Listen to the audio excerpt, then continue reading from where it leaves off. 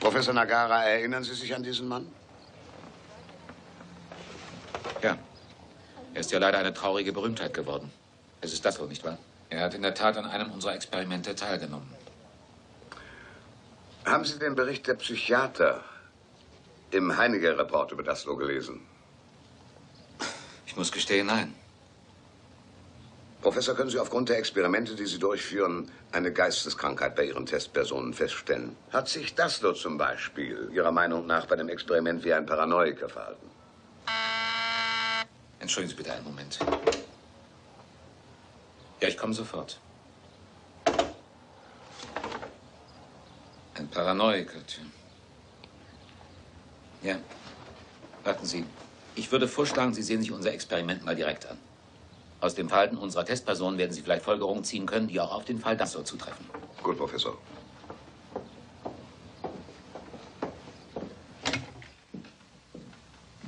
Hier können Sie es sich bequem machen.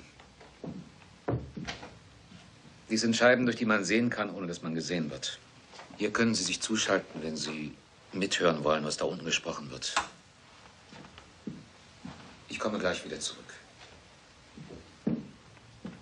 Wie lange wird das ungefähr dauern? Mir hat man gesagt, ungefähr eine Stunde, stimmt das? Und was passiert hier eigentlich? Das wird man Ihnen alles sofort erklären, Monsieur. Ah, da kommt Professor Nagara. Ähm, Monsieur Rivoli? Nein, ich heiße Despol. Despol ist mein Name, Professor. Dann müssen Sie Monsieur Rivoli sein. Ja, ich bin Rivoli, Professor. Tja, Monsieur, dann will ich erst mal einige Worte zu dem Experiment sagen, das wir heute durchführen wollen. Es gibt eine Theorie, die bedeutende Psychologen entwickelt haben, die besagt, dass jedes lernfähige Individuum umso wirksamer lernt, je mehr es fürchten muss, dass es für etwaige Fehler bestraft wird. Ein Beispiel aus dem täglichen Leben. Die Kinder werden bestraft. Sie werden mit einer Tracht Prügel bestraft, wenn sie etwas falsch gemacht haben. Die Eltern haben die Hoffnung, dass sie mit der Bestrafung ihre Kinder dazu bringen, das Gedächtnis besser zu gebrauchen. Im Rahmen dieses universitären Forschungsprojektes interessieren nur die Erwachsenen. Wir haben auf wissenschaftlicher Grundlage eine Skala entwickelt, nach der wir in messbaren Werten ermitteln, wie weit Strafe einen Einfluss auf das Gedächtnis hat. Heute wird einer von Ihnen der Schüler sein, der sich bemüht, sich möglichst genau zu erinnern. Und der andere wird der Lehrer sein, der den Schüler dahin zu bringen versucht, das Gedächtnis optimal einzusetzen, indem er jeden Fehler bestraft, wobei die Schwere der Strafen sich steigert. Soweit wäre alles klar, hoffe ich. Nun würde ich vorschlagen, wir ermitteln durch das Los, wer der Lehrer und wer der Schüler sein soll. Da bin ich gespannt. Ja, ich bin der Lehrer. Dann wird Monsieur Rivoli den Schüler spielen.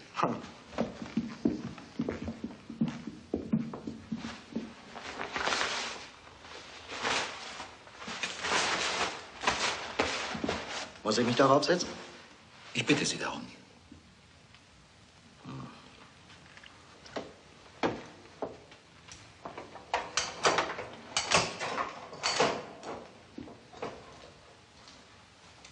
Das, das ist doch nicht etwa gefährlich.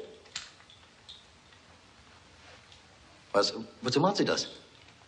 Damit wollen wir nur eventuelle Verbrennungen verhindern. Aha, ich verstehe.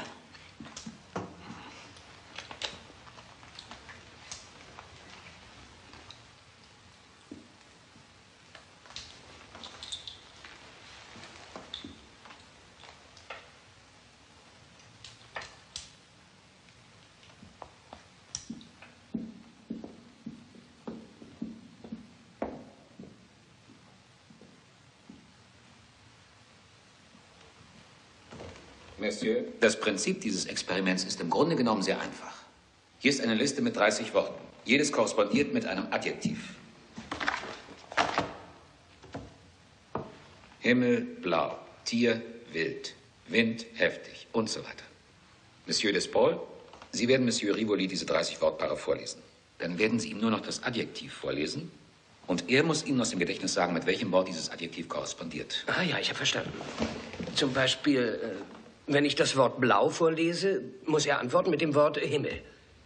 Wenn ich sage wild, äh, muss er antworten Tier. Wenn ich sage heftig, Wind. Sie haben das sehr gut verstanden. Und jedes Mal, wenn Monsieur Rivoli etwas Falsches sagt, müssen Sie ihn bestrafen. Wenn Sie einen dieser Regler hochschieben, bekommt er einen elektrischen Schlag. Beim ersten Fehler bekommt der Schüler einen Schlag von 15 Volt, beim zweiten 30 Volt, beim dritten Fehler 45 Volt und so weiter. und so weiter. Wie Sie sehen, sind das jeweils Stufen zu je 15 Volt, die sich addieren, wenn man mehrere Regler aufzieht. Und jetzt, Monsieur Despaul, lesen Sie bitte Ihrem Schüler die Wortpaare vor. Schön langsam. Und sprechen Sie bitte deutlich, damit er sich alle gut merken kann. Monsieur Flavius wird das Experiment überwachen. Ja, gut. Also, Himmel blau, Tier wild, Wind heftig, Tag frisch.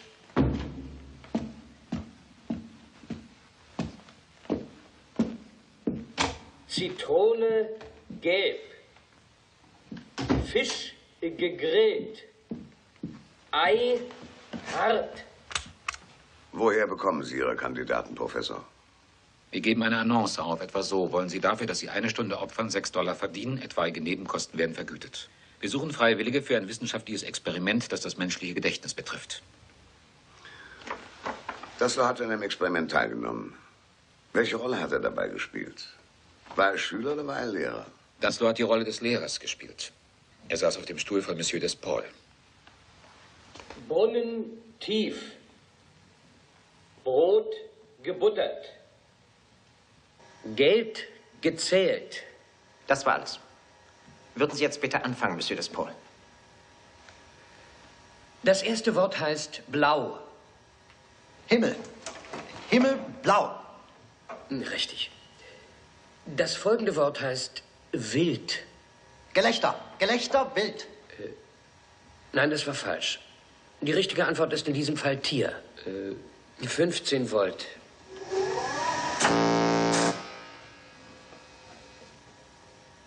Das folgende Wort heißt heftig. Heftig. Äh, eine Sekunde, das weiß ich. Atem. Atem heftig. Äh, Falsch. Die richtige Antwort ist Wind. Wind heftig. 30 Volt. Überlegen Sie doch erst, bevor Sie was sagen. Sie glauben doch nicht etwa, dass es mir Spaß macht, Sie zu bestrafen. Passen Sie auf. Das folgende Wort heißt frisch. Frisch. Warten Sie. War das nicht Fisch? Oder, Moment, äh, Glauben Sie wirklich ernsthaft, Professor, dass durch die Elektroschocks der arme Monsieur Rivoli ein besseres Gedächtnis bekommt? Ich wiederhole nochmal. Bei dem Experiment ist das Gedächtnis von Monsieur Rivoli ohne jedes Interesse für uns. Uns interessiert die Fähigkeit zum absoluten Gehorsam bei Monsieur Despaul. Seine Unterordnung unter einer Autorität. Für Monsieur Despaul wird diese Autorität durch die Universität verkörpert. Durch Professor Flavius und durch mich. Unsere weißen Kittel sind die Symbole dieser Autorität. Wir haben ihm befohlen, einen Menschen, der ihm nichts getan hat, nach einem bestimmten Ritus zu bestrafen. Wie weit wird er diesen schwachsinnigen Befehl ausführen und wann wird er sich gegen die auflehnen, die ihm den Befehl gegeben haben? Das ist das Problem. Nur das. Das folgende Wort heißt gelb. Zitrone. Äh, vorzüglich, ganz vorzüglich. Stimmt, Zitrone ist das passende Wort. Dann machen wir weiter. Das folgende Wort heißt gegrillt. Fleisch. Fleisch gegrillt. Aber nein, das ist falsch. Das richtige Wort heißt Fisch, Fisch gegrillt. 165 Volt. Hören Sie auf. Ich weigere mich weiterzumachen. Lassen Sie mich bitte gehen. Die höchste Voltzahl wäre 450, so weit wird er doch nicht gehen. Das weiß ich nicht. Irgendwann kommt das Experiment an einen Punkt, an dem sich Monsieur Despaul mit einem Problem auseinandersetzen muss. Soll er der Autorität weiter gehorchen, die ihm befohlen hat, das Experiment bis zum Ende durchzuführen? Oder soll er aufhören, weil er sein Opfer nicht mehr leiden lassen will? Despaul wird mehr und mehr von einem inneren Konflikt erschüttert, der fast unerträglich ist. Wenn er diesen Konflikt lösen will, muss er mit der Autorität brechen und den Gehorsam verweigern. Das ist der Punkt, der uns interessiert. Der Bruch mit der Autorität. Würden Sie bitte fortfahren, Monsieur Despaul?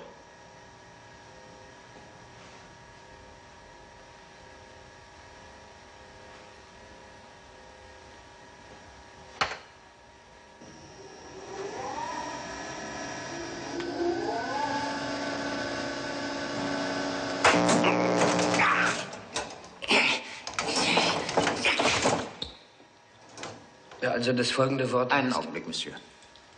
Der rechte Arm von Monsieur Rivoli ist nicht mehr angeschlossen. Die Elektrode hat keinen Kontakt mehr. Sie müssen Ihren Schüler wieder anschließen. Warum muss ich das machen? Sie haben uns zugesagt, Ihren Auftrag korrekt durchzuführen, Monsieur Despaul.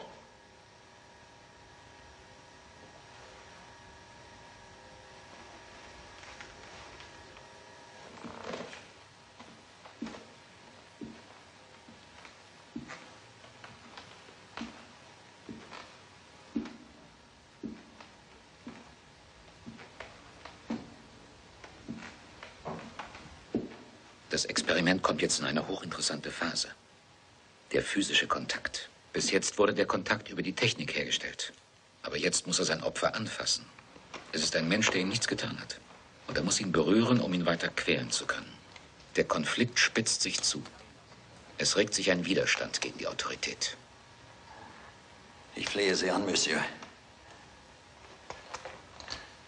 Hören Sie auf. Sie sollten sich lieber konzentrieren und nicht einfach irgendetwas antworten. Wenn bloß endlich Schluss wäre. Ich habe auch keine Lust weiterzumachen.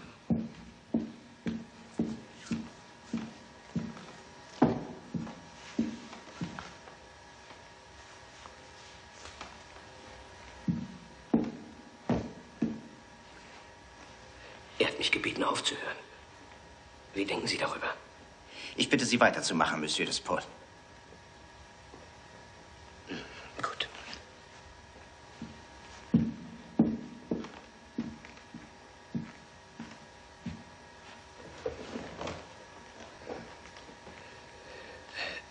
Bitte hören Sie zu. Konzentrieren Sie sich, bevor Sie antworten. Ich muss Sie warnen, ich bin fast auf 200 Volt. Also das folgende Wort heißt weiß. Weiß.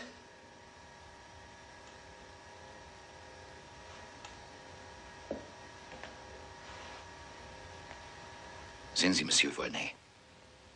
Despaul versucht, mit seinem Konflikt fertig zu werden, indem er dem Opfer hilft. Aber wenn der Konflikt wirklich für ihn kaum noch erträglich ist, warum hört er dann nicht einfach auf? Er erkennt an, dass alles, was er bisher getan hat, Unrecht war, wenn er jetzt aufhört. Wenn er weitermacht, rechtfertigt er alles, was er bis jetzt getan hat. Sagen Sie, Monsieur, könnte man vielleicht ausnahmsweise zum nächsten Wort weitergehen? Das Experiment muss genau in der Reihenfolge weitergeführt werden, Monsieur Despaul. Aber er antwortet doch nicht mehr. Es ist ihm vielleicht was zugestoßen, Sie sollten mal nachsehen. Ob das dem Schüler gefällt oder nicht, wir müssen weitermachen. Und zwar so lange, bis der Schüler die Wortpaare auswendig weiß.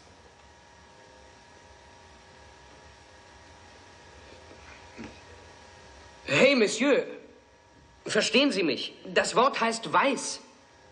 Ich kann nicht mehr. Es ist zu viel für mich. Ich will nicht mehr antworten. Was macht man jetzt? Sein Schweigen müssen Sie als Fehler einstufen. Geben Sie ihm also 180 Volt. Aber er fühlt sich schlecht. Ich habe Angst, dass das schief geht. Ich übernehme die volle Verantwortung. Na gut. Wenn Sie die Verantwortung übernehmen. Das ertrage ich nicht mehr. Sowas ist auch im Namen der Wissenschaft nicht erlaubt. Es gibt kein Gesetz, auf das Sie Aber sich beruhigen Sie sich doch. Ich bitte Sie, beruhigen Sie sich. Die Apparate da unten sind nichts weiter als Attrappen. Das heißt, es gibt keinen elektrischen Strom. Es gibt überhaupt keine Verbindung von dem Pult von Monsieur Despaul zu dem Stuhl von Monsieur Rivoli. Aber Monsieur Despaul weiß das nicht. Monsieur Rivoli ist sehr begabt, nicht wahr? Er gehört zu unserem Team. Es ist selbstverständlich, dass die Kandidaten, mit denen wir dieses Experiment durchführen, immer die Rolle des Lehrers spielen. Darum steht auf beiden Losen Lehrer.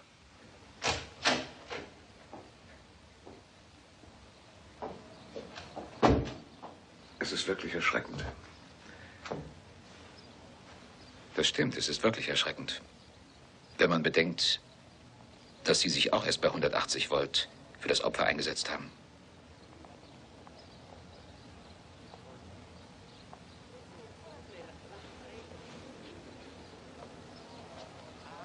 Dieses Experiment ist erbarmungslos, Professor. Bei wie viel Volt hat Daslo aufgehört? Bei 405 Volt. Nehmen Sie Platz. Das ist ungeheuer.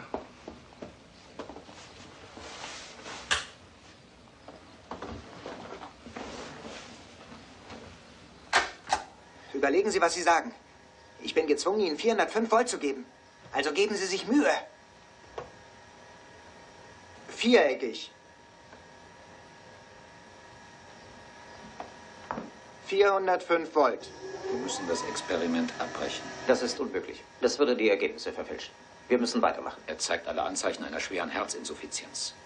Wenn Sie weitermachen, kann es eine Katastrophe geben. Geben Sie ihm 405 Volt, Monsieur Daslow. Kommt nicht in Frage. Werden Sie sich erstmal einig. Sie wollen weitermachen und er will Was die aufhören. Professoren miteinander besprechen, geht Sie nichts an, Monsieur Daslow. Ich darf Sie also bitten, weiterzumachen. Ich mache überhaupt nicht mehr weiter. Ich gebe Ihnen auch die 6 Dollar zurück, wenn Sie wollen, aber ich gehe nach Hause. Abbruch des Experiments bei 405 Volt. Sehen Sie, wenn die Spitze eines hierarchischen Systems sich nicht mehr in Übereinstimmung befindet, wenn die Autoritäten sich streiten, gibt es keinen unbedingten Gehorsam mehr. Sind viele Ihrer Testpersonen bis 405 Volt gegangen? Im Durchschnitt leisten 63 Prozent der Testpersonen unbedingten Gehorsam. Das heißt, dass sie das Prinzip des Experiments voll akzeptieren. Damit will ich sagen, sie gehen bis 450 Volt. Das würde also bedeuten, dass auch in einem zivilisierten Land mit einer liberalen und demokratischen Verfassung zwei Drittel der Bevölkerung ohne zu fragen und ohne zu überlegen alle Befehle ausführen würden, die sie von einer übergeordneten Macht bekämen.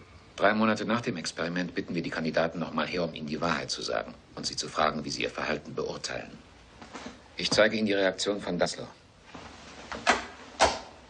Sie haben vor einem Vierteljahr an einem Experiment teilgenommen, das über eine Stunde gedauert hat und dabei einen Ihnen Unbekannten mit Elektroschocks bestraft, die bis zu 405 Volt gingen. Waren Sie bis zum Ende davon überzeugt, dass die Elektroschocks nicht simuliert waren? Ja, Haben Sie nicht darüber nachgedacht, dass Sie Ihrem unschuldigen und wehrlosen Opfer gegenüber grausam gehandelt haben, Monsieur Daslow? ich hatte nicht zu beurteilen, ob meine Handlungen grausam waren oder ob das Opfer unschuldig war. Verantwortlich waren die, die mir die Befehle gegeben haben. Ich habe die Befehle nur ausgeführt. Wenn man einem Piloten befiehlt, eine Bombe auf eine Stadt zu werfen, fragt er auch nicht, ob die Bombardierung richtig oder falsch ist. Er wirft die Bombe.